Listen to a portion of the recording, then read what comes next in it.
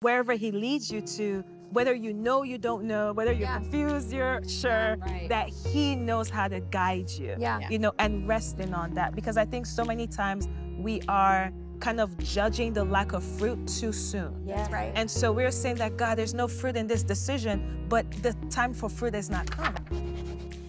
My question is how does God speak to you? Are you a knower, a seer, a feeler, or a visionary? And have you ever had a dream that got delayed and now you're realizing it was the grace of God? It was actually supernatural. Now that makes me think about my journey into ministry because I was in business at the time and eh, and I'm still in business. But then the Lord told me to walk away from it. And I was in real estate and he was just like walk away from everything, you know. And I was just like, what do you mean? Like I love this. Mm. So I think it was a mixture of knowing, hearing, seeing. Because mm-hmm. I dream a lot as well. And so in that moment, he was telling me, he, like, because I, I entered a place where I just didn't feel at peace with myself. I Yeah. felt like, God, who you created me to be, I'm not being, I'm not that mm-hmm, person right now. Mm-hmm. So I went on a journey of, I was in prayer, I was in fasting, and I'm like, God, something is off. And the response from that was walk away from everything and move. And I almost felt like, is the mistake asking you, what should I do? and I remember, so I moved to downtown LA and I'm like, I don't understand what I'm doing. And I come from a Nigerian background and they're very big on what are you doing with your life? Yeah. Are you working? Are you, you know, so it's very big on being stable, established. I remember when I told my mom, I don't, I, I'm not sure what I'm doing right now. And she was like, I need to pray for my daughter. I think she's losing her mind. And so in downtown LA, eventually the Lord led me to the church. So the church that I'm the executive pastor now. And so when he led me there, so I remember walking in and he said, This is where I would raise you. And I was like, What does that mean? What does that look like? Um, and then in a dream, he tells me to serve as an usher. And the first year, that's all I should do serve as an usher. Mm. And I'm like, You want me to do what? this is what I left. and my mom, we didn't talk for like three months. Yes. My brothers were just like, Are you losing it? Because my mom was like, Stephanie, if you want to serve in the house of God, come to Nigeria. yes. You know, you, Yeah. people need God, you know, so, and you could work. if there's no work for you to do out there, you could work here and serve God all you want. and I was like, no, but this is the instruction that the Lord has given me. And so during that course, and I'm in a place I didn't know anyone there. And so during that whole course of one year, what God was really doing was prepare a shepherd's heart. Mm. Yeah. And so it was serving with people, it was loving on people, taking on the Yeah. burdens of people. Because as an usher, you're walking up, you're meeting people, Yeah. you're greeting yeah, them, yeah, yeah. you're hearing what's going on. So I didn't realize that that was what was being cultivated. But that was very hard for me. I was living off my savings. I had very hard moments. I had moments where I questioned God a lot. And just like you're saying, now, there are moments where I'm like, I'm, I'm not doing this. I'm not. Yeah. And then I will have a dream. And the Lord will come to me and He says, if you mm-hmm. stay, what I said will be perfected.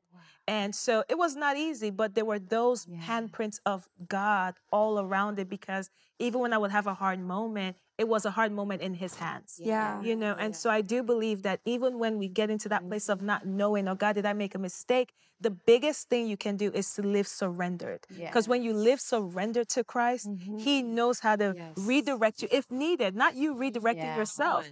If needed, He would redirect you. Yeah. And I started learning that even sometimes what we call mistakes is really just labor pains. Yeah. That God, you're birthing me through all of this that I feel like, did I get this wrong? That, you know, disappointment. Yeah. All of it is labor pains. Yeah. And so when that year was wrapped up and going into, you know, just wondering, sorry, he he told me to write a book. I wrote the book. My pastor read the book. It was a whole story. And then I became, but what's interesting, before I became a pastor, the Lord told me when I would preach. And that's when I gave my message.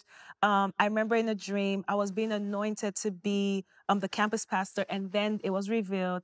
Then a year later, I was being anointed again to be the executive pastor before it happened. And so I saw how God was literally telling me, I have been with you all along. Yes. And so what I learned from that was not about the place, but it was about the hand of God that knows Good. how to direct you. Right. Yeah. And wherever He leads you to, whether you know you don't know, whether you're Yeah. confused, you're sure right. that He knows how to guide you Yeah. you know, and resting mm-hmm. on that. Because I think so many times we are kind of judging the lack of fruit too soon. That's right. And so we're saying that God, there's no fruit in this decision, but the time for fruit has not come. That's right. yes. And so we use that Very to say, good. oh my gosh, like I made a mistake. No, if I'm in mm-hmm. God's hands, I'd rather make a mistake in his hands yes. Yes. rather than making it in my pride or in my ego. If I'm making it because I said I was going to do this to glorify the name of God, he is God enough to know how to use that Yeah. to still deliver on his word. Yeah. So. You just made me um, reflect on something. Um, so the question of do you, you know, see, feel, hear?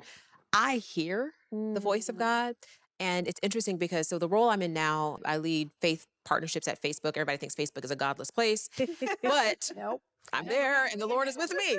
So, um, but before Facebook, I never worked in social technology at all. I loved what I was doing. I was helping lead a, a network of alternative schools for girls. And I was in prayer. April of 2017, I was in prayer and I was asking God for clarity on what I need to do next in that role. And the Lord said, this assignment is over. Like I, I heard it so mm, clearly. Yeah. And the CEO had came to me like a couple weeks before and was like, "We're doing my succession plan.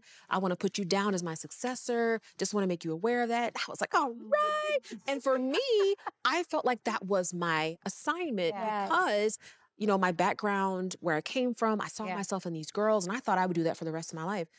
But I know I heard the voice of God and I know the voice of God. And so I told my husband and I said, "Babe, God just told me to resign from from my job." And he was like, "Are the bills resigning too?" Because uh, you can't just walk off your job. But uh, I knew what God said. So um, I prayed again. I said, Lord, you know, what do you want me to do next? And he told me to resign at the end of the fiscal year, June 30th, 2017. Friday, June 30th, 2017. Gave me that date. So I sit down with my boss and I give her my letter of resignation. And she's like, Well, what are you going to do next? Hmm. And I'm like, I'm going to tell you soon. And in the back of my mind, I'm like, Lord, what am I going to do next? Right. and so we finished talking at 1:40. I get in my car and I'm driving home. And like the weight of it is now settling on me because I'm like, I just quit my job. And so I'm like, Jesus, what are we doing? Yeah. 205, 25 minutes later, my cell phone rings and it's a 650 area code. It just said San Francisco, California. I didn't know anybody. I wasn't going to answer it, thought I was a telemarketer. And the spirit said, take that call. Yeah. And so I was like, all right. So I picked it up. And uh, this woman was like, hi, is this Nona Jones? And I said, yes. And she said, hi, I'm calling from Facebook. And I said, well, Facebook doesn't call people. So who is Right, this right. playing games on my phone? And uh, she proceeded to tell me that the week before, Mark changed the mission of the whole company to focus on community building. And she said that the largest community in the world that was the most meaningful to the people who were in it was the faith community. And that my name had been mentioned in a meeting as someone that they should talk to about the work. And I was just like, all right, Lord. So you knew months ago that if I walked in faith, because see, here's the thing, here's the key. When you talk about identity and assignment, my identity was so wrapped up in what I was doing that if they would have called me and I had not resigned, Right. I wouldn't have left. Right. Oh, Come on, that's right. I wouldn't have That's left amazing. because I loved what I was doing and I felt like that's what I was Wow. called to do. And so God was like, I'm calling you away to a land mm. that you know nothing of. You've never even seen it. You've never stepped foot in it. You're going to question why you're there, Oh, but I've wow. called you to it. And so right. I'm just, I'm so grateful. As I listen to your stories, it's encouraging me Yes, it's- that a lot of times God will call you away from the very thing that was your identity Yes. so he can get you to walk in your assignment. Yes. And that's what we're doing. Yes. now. so true. Wow. Yeah. And sometimes I think, especially if we are strong women, we sometimes feel like we want to make it happen and then we'll give it to God. Like, look what I did for you, rather than I don't know what I'm doing. I might be an adult and I might have been an adult for a while, but I don't know what's next. Yeah. And I just think of so many people right now in my own personal life that are in all seasons of life that have killed the Goliaths in their life, but now they're sitting there going, What's next? And so I want to pray for you if you're watching, and let's pray today for those women and that are watching, men and women that are like, I just need to know. So, Holy Spirit, Yes. I thank you that you knew they were supposed to watch this today. Yes. I thank you that they have tuned into this very moment and there's something within them that's saying, Yes, I mm. need to believe for the next. I need to see the next. And I, I just want to remind them first that the Holy Spirit, you live within them and you are leading them and guiding them and comforting them. And I ask right now that we would, as women, surrender Yeah. to the leading of your Holy Spirit. And I ask where there is no courage, you would help them to be courageous. Where there is fear, you would give them faith, God. Wherever they might feel depleted and bankrupt, whether it be financially, emotionally, mentally, even relationally, I ask, Holy Spirit, that they would see that they are not this moment, that there is so much more ahead of them. And I pray right now for a divine intervention, like right now, right where they are that if their marriage is over, I pray that you would revive their marriage. If their finances are at the darkest place, I ask God that you would give them clarity on what to do to generate and to to see revenue like they haven't seen. And for those that are maybe have had lost loved ones in this season and and they're they're feeling discouraged and, and sad and in grief, I pray you would revive them and let them know that you didn't bring them out of Egypt to, to let them die in the desert, but you're, they're, they're going to carry on. And there is still a great promise. So revive our hearts today. Encourage us. Do what only you can do. God, speak to the deepest of who we are and remind us of who we are in you. In Jesus' mighty name. Amen. Amen. Amen. Amen. I hope you enjoyed this video. Subscribe today and you'll never miss a new upload. And don't forget to check out our Better Together shop. Thanks for being a part of our community.